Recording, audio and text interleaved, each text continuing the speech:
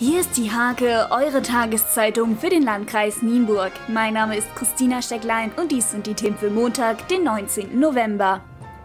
Ein Feuer hat Sonntagmittag vier Autos und einen Carport bei einem Autohändler am Wietzener Ortseingang vernichtet. Das Übergreifen des Feuers auf das neben dem Carport stehende ehemalige Tankstellengebäude konnten die Einsatzkräfte der Freiwilligen Feuerwehr verhindern. Die Bundesstraße war bis gegen 14.30 Uhr gesperrt.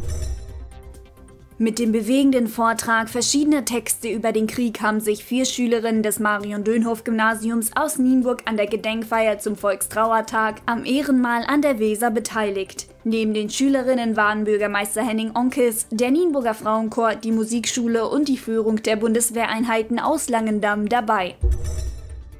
Der Volksbund Deutsche Kriegsgräberfürsorge im Landkreis hat seine Auftaktsammlung. Mehrere Soldaten, Mitglieder des Vereins, die Bundestagsabgeordnete Katja Keul, die Landtagsabgeordneten Carsten Heineking und Dr. Frank Schmedeke, die Kreistagsabgeordnete Anja Altmann sowie Landrat Detlef Kohlmeier haben in Nienburg und Maklohe Geld für die Pflege deutscher Kriegsgräber im Ausland gesammelt. Der Volksbund unterhält und betreut in fast 100 Ländern 842 Kriegsgräberstätten mit über 2 Millionen Gräbern.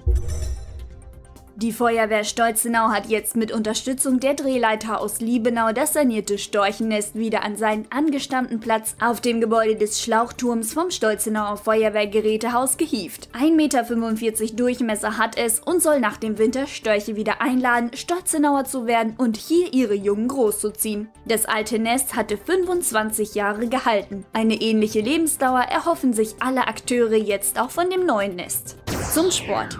Der TuS Drakenburg ging im Derby als verdienter Sieger vom Platz. Gegen RW Estorf Lesering setzte sich der Tabellenfünfte mit 3 zu 1 durch. Mann des Tages war Konstantin Patschkowski, der mit seinem Doppelpack den Erfolg einleitete.